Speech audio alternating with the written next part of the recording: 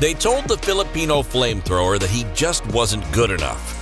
But with courage, determination, and a little Mamba mentality, Jordan Clarkson was able to bounce back. Basketball is not only played physically with skills, you have to be there all mentally. Jordan Clarkson. Jordan Taylor Clarkson's incredible basketball journey began in the Sunshine State back in 1992. He was born in Tampa, Florida on June 7th, but just six years into his life, Clarkson made the move down to San Antonio, Texas, where, at Karen Wagner High School, he really started to show what he could do on the court. But winning San Antonio's High School Player of the Year award wasn't enough to get Clarkson any recognition from the top colleges. Jordan wound up in Tulsa and played for two seasons before transferring to Missouri.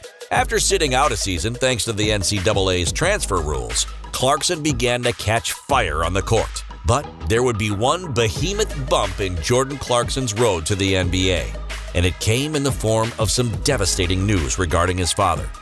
Mike Clarkson was diagnosed with a rare form of cancer, and it very nearly broke Jordan before he even made it to the big leagues.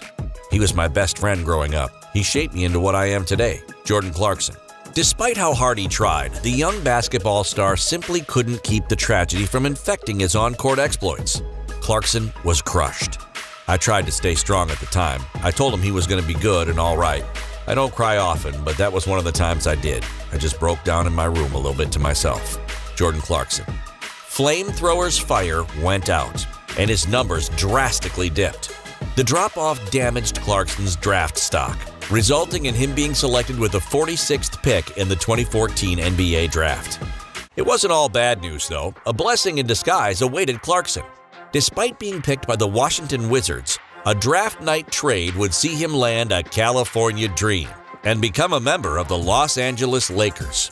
Jordan Clarkson had made it. He was suited up in the purple and gold he'd always dreamed of. But a career in the NBA was something Clarkson still had to earn. For the majority of the first half of his rookie season, Jordan was sent down to the G League to play for the Los Angeles D-Fenders. It seemed that Clarkson simply didn't have what it took, but a helping hand from one of the all time greats would reach out and put Jordan back on track. That hand belonged to the legendary Laker, Kobe Bryant. Mamba mentality was all it took to pull Clarkson out of his development hell. He's had his hands on my career since I came into the league as a rookie. I didn't really know much about preparing for a game, the details of what really goes into this. He really kind of taught me everything. Jordan Clarkson. Kobe's guidance set Clarkson up for the success he'd strived so hard for. Clarkson got back on the hardwood in the NBA. And on March 24th, he dropped 30 points and dished out 7 assists. Less than a week later, the young rookie notched back to back double doubles. Clarkson's amazing turnaround resulted in him making the all rookie first team, an achievement only four other second round picks had ever managed in the 30 years prior. Jordan embraced the ideals of the Black Mamba and became a fearless scorer. He left LA in 2018, but will forever be grateful for the opportunity he had to live his dream. Words can't express what it meant to me to wear the purple and gold. As a kid from Texas, playing for the legendary Lakers was nothing short of a dream come true. Jordan Clarkson.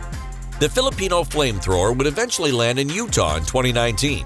And as a player for the Jazz, Clarkson set out to prove once and for all that he has what it takes to be a star in the big league of basketball. For the 2021 season, Jordan Clarkson averaged 18.4 points per game, and he did this while coming off the bench. Clarkson became the very first Jazz player to win the NBA's Sixth Man of the Year award, and he cemented himself as one of the very best bucket getters in the game. When no one believed in Jordan Clarkson, he believed in himself. So remember to always have faith, because there just might be a black mamba waiting around the corner to lift you up and help you bounce back.